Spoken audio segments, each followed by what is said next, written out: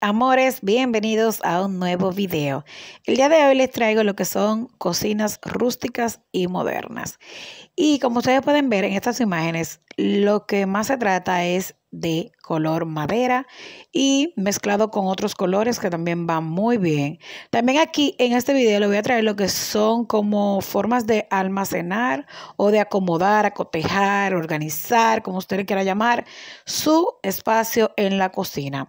Miren qué lindo se ven estos estantes que son flotantes o encimeras, como usted le quiera llamar. Yo le llamo estantes de repisa. Miren esta que chulo y son bien económicos porque estas cajitas no son para nada caras y también usted puede hacerlo con pedazos de madera. Usted compra su madera y puede hacer sus propios estantes y organizar sus espacios para que por más pequeños que sean se vean organizados y también bonitos. Me gustó muchísimo esa idea de blanco con negro y del blanco con madera y negro. Me encanta muchísimo y creo que se ven demasiado bonitos los espacios, se ven bien organizaditos y se ven bien modernos y bien elegantes, que eso también me encanta.